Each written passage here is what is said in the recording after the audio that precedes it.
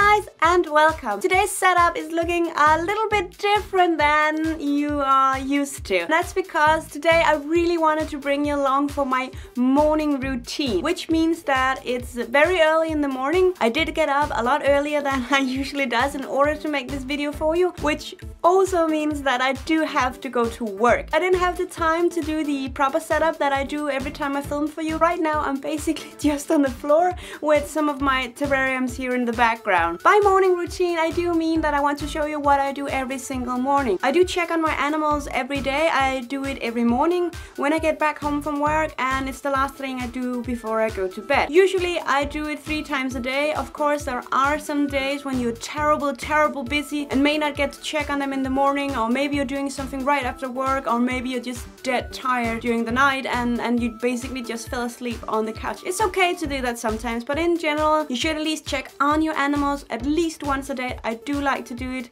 three times a day and that is not just because that to check that they are healthy but in general I just really like being up here. But no more chit chat, we are very very busy so let's get to it, my morning routine.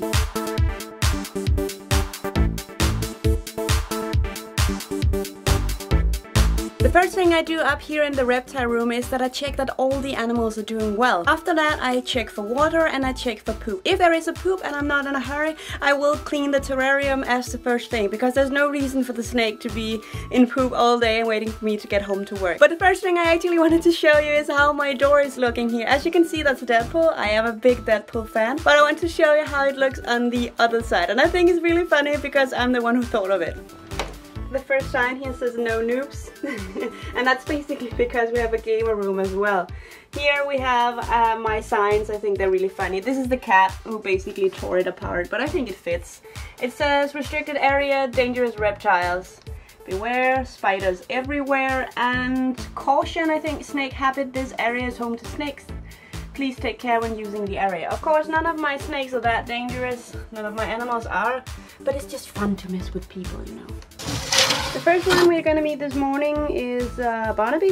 I recently moved Barnaby into this terrarium. I think he needed, she needed, sorry I keep calling it uh, he, he needed more space. I actually just did it this morning, you guys just missed it, which is also the reason why he is missing some more hides and some more clutter. I will definitely be getting that because uh, as I've talked about before, Californian king snakes are very active. They do like to crawl around all that kind of stuff so I really think he needs something more.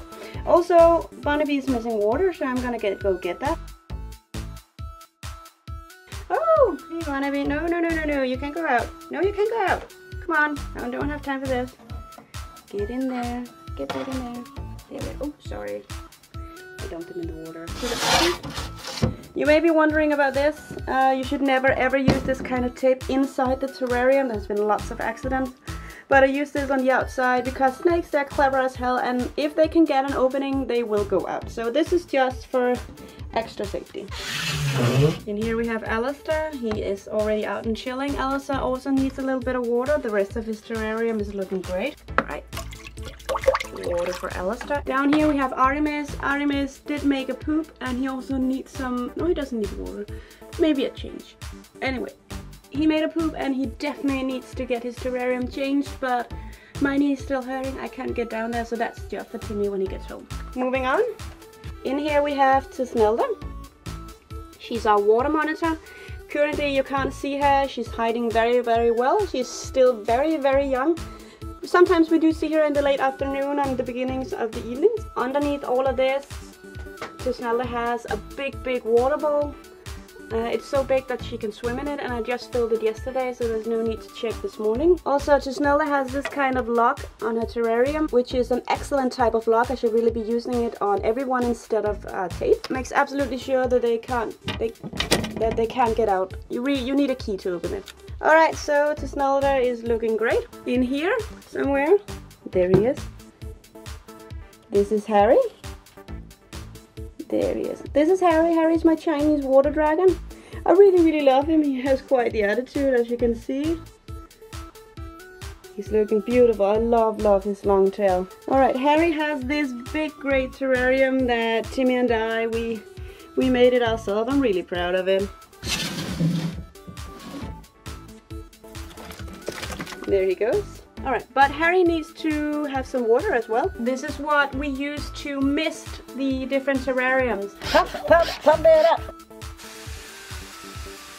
So this whole thing basically gets a really, really good misting. Down here we have some, I actually don't know, some kind of moss or sphagnum, I don't know if that's what you call it in English.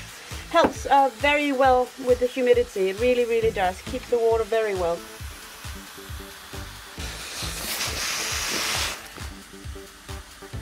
After the next one. In here we have our green tree boa. This is Asmodan and this is really one of Timmy's absolute babies. And I can really, really understand why I really, really love the colors of it.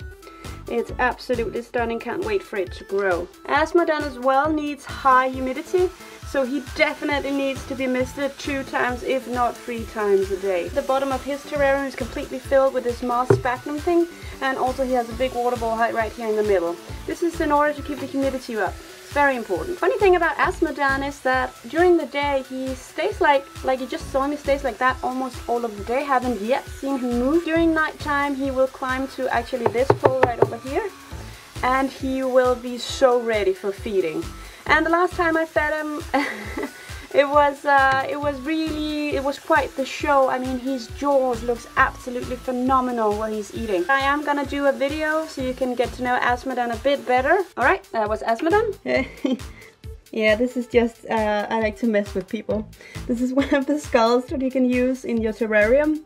Uh, but I, I really like having them, you know. So these are some of the old molds from the spiders. And now I'm just making it look pretty much like a horror movie. And this is one of the feathers from, uh, from one of my mock, mock, mock, mock, one of my parrots.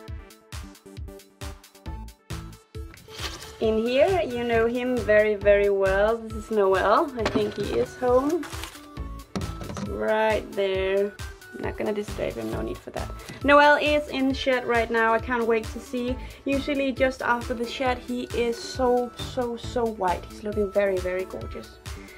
Noel's water ball looks fine, terrarium looks fine. Gonna say good for now. Down here is the toad. He also needs to be misted. Let's do that quickly. Toad also has this sphagnum moss helping with the humidity. And in here my tarantulas, it's a bit difficult to see. Um, the reflection it may be a bit annoying. Uh, this sign is wrong by the way, it's not an uh, Aphonopelma. It was before. It's not anymore. Alright, in here and there. Everyone seems to be doing very well indeed. Water balls still have water. The one thing you will know if you've ever had a tarantula is that you fill the water bowl and 30 seconds after the water bowl is empty or filled with dirt. I fill it once every day and I fill it at night because they are more active during the night. Alright, this is my golden girl. I moved her to another terrarium. This one is uh, a little bit smaller than the one she is used to. I'm gonna do a video on that. There is a very specific reason why I've done what I've done. I just changed her terrarium as well with fresh water, so she's looking good. Alright, in here, my little ghost. Right, water looking good, terrarium. I did change it yesterday, I believe because he uh, pooped in the water. That's pretty gross. Right, in here we have Pearl. Pearl's well is looking absolutely great. This is my Purple Passion Rowena. Looking a bit messy, but she's looking overall good. And of course we need to look uh, on how Belette is doing. My beautiful girl, she's looking really, really good. You guys want to see her eat? I do. Hang on. Are you ready? um nom nom nom nom nom nom nom nom. Oh damn. Well done, Belette. Yeah, she has it in her face. well, I I think that was today's very quick routine. Basically what I do every day, I check if the animal is alive and well. I check for water, I check for poop. If I have the time, I will change it right away. That's what I do in the morning. Usually I'm very, very busy in the morning because I am not that good at getting up early. So today I did have some extra time, which you could clearly see. Usually this doesn't take more than a few minutes. It's very, very quick. It's just up, look, uh, do what you can and then back down and off to work. Alright guys, I really hope you enjoyed this morning routine. I hope it helped giving you an idea of what my day-to-day -day caretaking is with all of these animals. I do have quite a lot. I have, I believe, around 18 snakes right now. And besides that, of course, I have water monitor and I have my Chinese water dragon. I have my toad as well. I have two parrots and a cat and I have all my rats and mice. So I do have a lot of animals and the questions that I often get is how on earth do you manage? How do you find your time to do this? And basically the simplest answer is that I really enjoy it. I enjoy taking care of my animals so for me it's not a duty, it's not something that I just need to do like doing the dishes. I really hate that. Uh, I really do enjoy it. It's I relax when I'm doing it. So that might be the reason why this works so well for me. Thank you guys so much. My channel is still really booming. I'm so thankful and I really do enjoy speaking with you guys. It's just, it's amazing and I've made so many new friends. A lot of you have been writing me in private as well and I love that. Please keep on doing it. I absolutely love it. Please give the video a like so I know that you like what I make. It really does mean a lot to me. If you have any comments or questions, don't forget to put them right down below in the comment section. Also, while you're at it, please hit subscribe to my channel. As usual, you can find me on Instagram under the name Jossers Jungle. Thank you for now and bye bye.